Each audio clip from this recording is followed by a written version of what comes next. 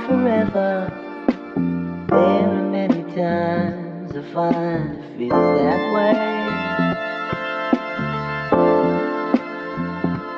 And I'm not trying to forget her, just understand how I'll be feeling. That